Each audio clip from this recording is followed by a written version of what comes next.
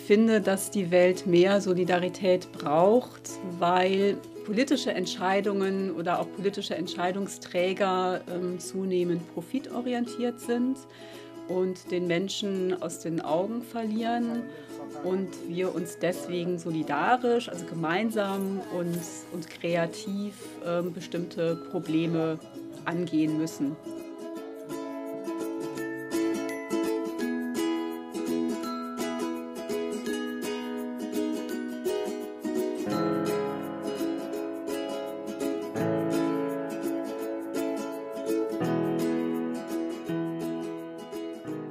Solidarität bedeutet für mich ganz persönlich zum Beispiel auch, wenn ich merke, dass ich als Stadtgärtnerin in Berlin eigentlich ganz ähnliche Interessen habe wie Leute, die ich jetzt zum Beispiel in einem Projekt in Südafrika dabei unterstütze, dass sie da Gemeinschaftsgärten aufbauen. Wir wollen beide vielfältig und gesund essen. Wir wollen alle selber bestimmen, wo unser Essen herkommt und auch eine Auswahl haben. Und wir wollen das gemeinsam mit anderen machen, die das genauso sehen.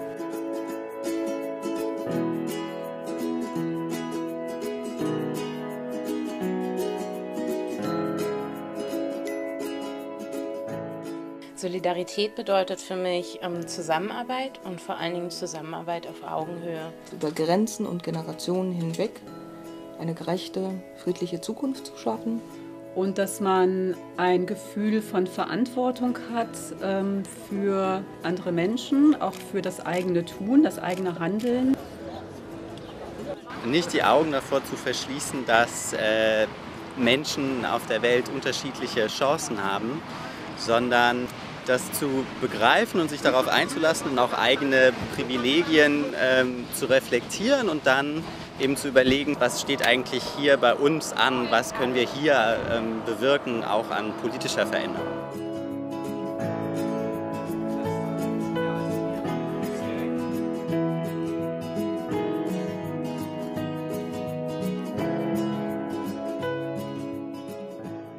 Und Solidarität ist für mich auch ein Grundsatz nachhaltigen Handelns. Nur mit Solidarität kann man nachhaltig handeln. Und deswegen ist Sodi für mich auch so unterstützenswert, weil Sodi getragen wird von Menschen, ähm, die in ihrem Leben unglaublich viel geleistet haben für andere Menschen und das auch sehr selbstlos.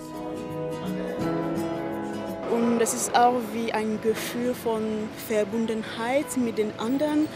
Das heißt, ähm, ich sehe die anderen nicht wie Schwarze oder Weiß oder ähm, Afrikaner oder Amerikaner, sondern wie Personen wie ich. Das ist für mich Solidarität.